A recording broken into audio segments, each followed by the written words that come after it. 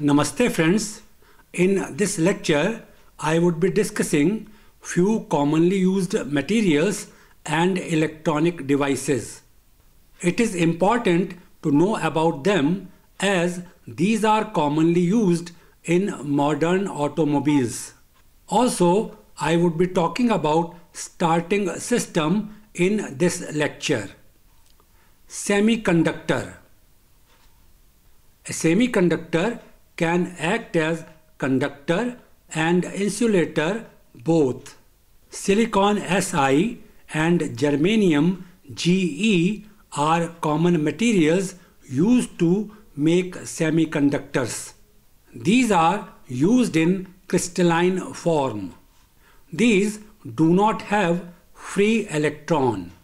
Therefore, these cannot conduct electric current and are electrically inert. In semiconductors, traces of other elements are added. In chemistry, it is known as doping. These elements that are added are known as impurities. Semiconductors can be N-type or P-type depending upon nature of impurity added. N-type semiconductor. In one of N-type semiconductors, silicon Si is doped with phosphorus P or arsenic As or antimony Sb as impurity. Referring to diagram that presents atomic structure of N-type semiconductor. It has silicon Si with phosphorus P as impurity. Silicon Si has been shown in black color whereas phosphorus P has been shown in red color for clarity. Phosphorus P has 5 valence electrons and silicon Si has 4 valence electrons as shown. When a small amount of phosphorus is added to a pure silicon crystal, one of the valence electron of phosphorus becomes surplus as shown on upper left side. It can move around as a surplus electron or free electron. This free electron is attracted to cathode that is positive electrode and current flows. P-type semiconductor. In one of P-type semiconductor, silicon Si is doped with boron B or indium In as impurity. Referring to diagram that presents atomic structure of p-type semiconductor. It has silicon Si with boron B as impurity. Again, silicon Si has been shown in black color whereas boron B has been shown in red color for clarity. Boron B has three valence electrons and silicon Si has four valence electrons as shown. When a small amount of boron is added to a pure silicon crystal, valence electron is not available at one position. Absence of electron creates a sort of hole that has been shown as H on upper side of diagram. As voltage is applied, electron from neighboring atom moves in this hole. This movement creates hole in neighboring atom. This causes movement of holes to anode, the negative electrode. As is known to us, atoms lose or gain electrons in conductors. In semiconductors, there is sharing of outer electron that is free. Other electrons are tightly held and this makes element stable. Movement of electrons towards cathode and holes towards anode is the principle by which semiconductors carry current. Semiconductors have no moving part and seldom wear. They do not require any adjustment also.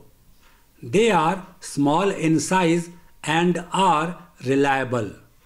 They require less power to operate and generate small amount of heat. Diode This is one of semiconductor devices and is most simple. It allows flow of current only in one direction and therefore can act as conductor or insulator both. One of the simple application of diode is convert alternate current AC into direct current DC. This is done through process known as rectification. These can be light emitting diodes LED or Zener diode. Light emitting diodes or LED emit light as the name indicates. One of very common application of LEDs is in modern television sets of big size. Zener diodes are used to regulate voltage in circuit. Transistor This is yet another semiconductor.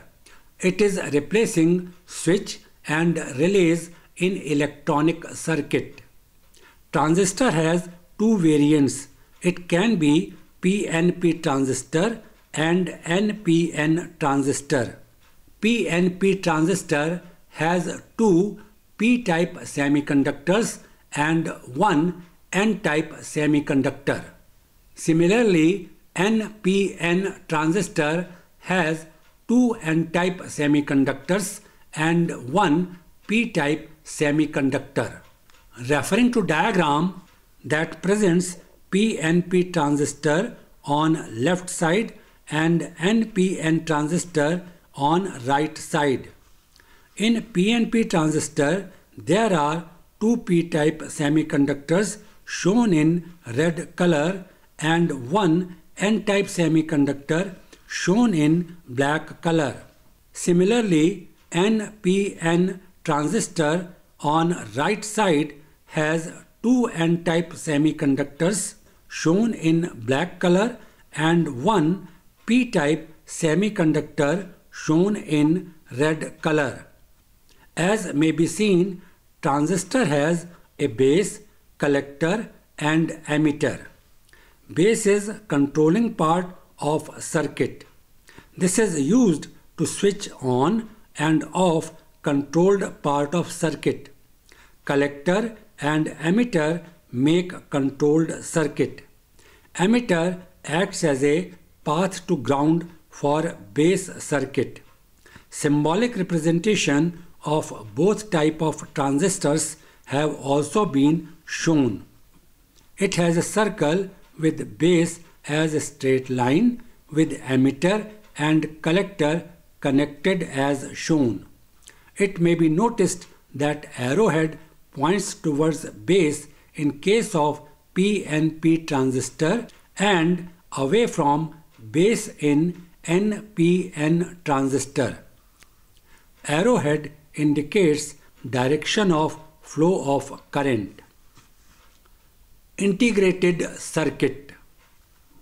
It consists of a large number of electronic components such as diodes, transistors, capacitors and resistors put together in a circuit in a single piece of semiconductor material. Another name used for integrated circuit is chip. These are becoming smaller day by day and carry large complicated circuits. These are commonly used in automobiles. Maybe you are aware that in recent past automakers are finding it difficult to fulfill their production targets. It is due to shortage of chips. Taiwan is main supplier of chips. Coronavirus infection has affected people there significantly. This has hampered production of chips. Multiplexing. This wiring system uses bus data link connecting different control modules. Each module transmits and receives digital code over bus data link. In this manner, same information is shared with other modules. Signal from sensor goes to desired module. Other modules can also use it. This eliminates separate wiring from sensors to different modules. Starting system Until few years back, it was common to kickstart your two-wheeler. Similarly, if you see very old movies, particularly of Charlie Chaplin, maybe you will find that cars are being started by a cranking rod inserted in a hole on front side of car. Actually, requirement to start engine is that working cycle in engine begins. For this, there should be suction, compression, firing, working or expansion stroke, and finally exhaust. It requires movement of a piston. This is done by cranking in automobile and through kick in two-wheeler. As piston moves, processes begin as mentioned. Later, these continue on their own. Presently, cranking is done through starting system. Automobiles and other vehicles including two-wheelers are started by turning a key. In some cars, it is done through a push button introduced recently. A starting system has following components battery and cables, ignition switch, safety switch, solenoid and starting motor. Battery and cables. As is known, it is lead acid battery generally. It provides current to starter motor. It acts as reservoir of electrical energy. It fulfills additional requirement of current if need be. Cables are wires with multi-strand capable of carrying a current of 250 amperes or more. Battery terminals are used to connect battery. These and cable joints must be kept clean for proper functioning. Ignition switch. It is a switch used to start or ignite engine. It has five key positions. These positions are lock, off, accessory, run and start. These positions ensure that electric current is being supplied according to requirement. In lock position, steering wheel is locked and no current is being supplied. If steering wheel applies pressure on locking mechanism, it may be difficult to turn key. By moving steering wheel a little, pressure is removed and key can be turned. In off position, all circuits are open. You can turn steering wheel but cannot remove key. When key is in accessory position, ignition and starter circuits are open, but power is supplied to other circuits. It makes you to play radio or operate power windows etc. In run position, all circuits other than starting circuit are open.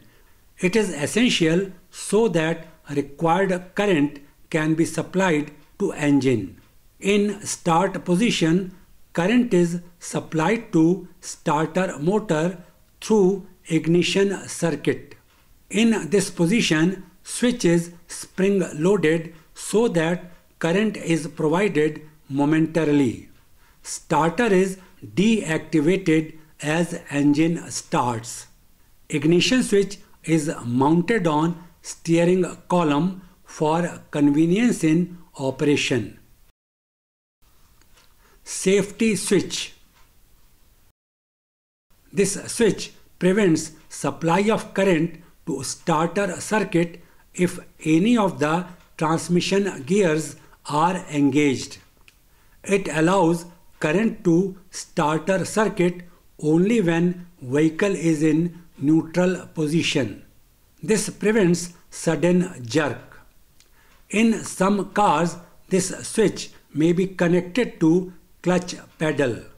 It means that current is not supplied to starting circuit if clutch pedal is not pressed. This ensures to prevent jerk if there is an attempt to start car when gear is engaged. Solenoid It is installed in series between battery and starter.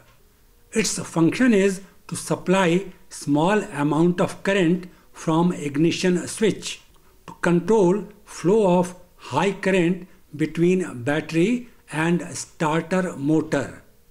This high current is essential to operate starting motor. Solenoid has replaced relay that was used earlier. Starting motor. It is an electrical motor used to crank internal combustion engine in an automobile. After engine starts, it gets disconnected. It is mounted on engine's gearbox housing and has a pinion that meshes with external teeth on flywheel. To understand constructional details, let us refer to diagram that presents starting motor.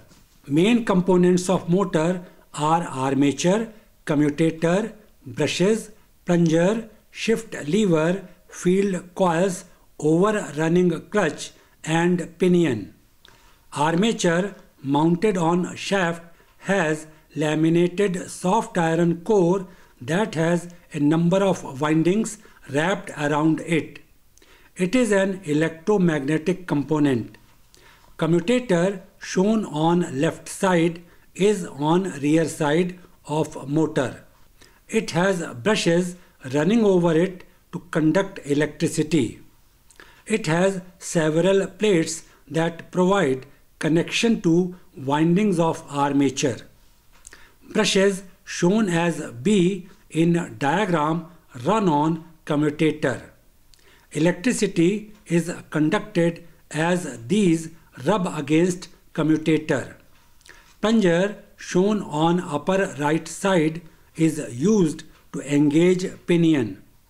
It has got a spring as shown on its right side that acts to disengage pinion after engine has started. Shift lever shown on right side pushes plunger towards left to engage pinion. Field coils shown as FC in diagram are located on both sides of armature.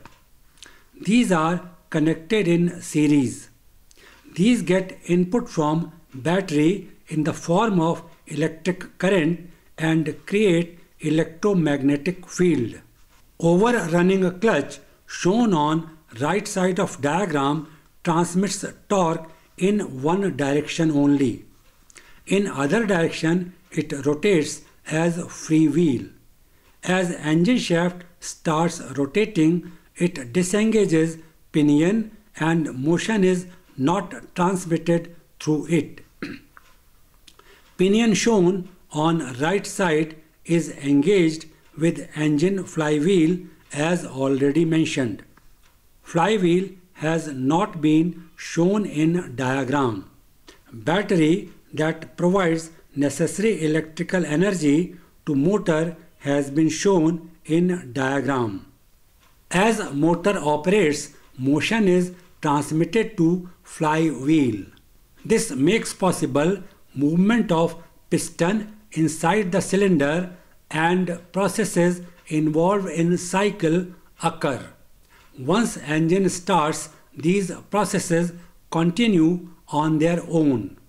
Pinion and gear are disengaged through overrunning clutch as already mentioned. It would be convenient to understand circuit and application of components through a diagram. Referring to diagram that presents starting system and its components as blocks. Battery B is shown on left side. Through starter circuit shown in red color, it is connected to solenoid SO. Solenoid SO is connected to motor M that is a starter motor. Motor is provided with pinion P as shown on right side of diagram. Pinion P meshes with flywheel R that is a part of engine.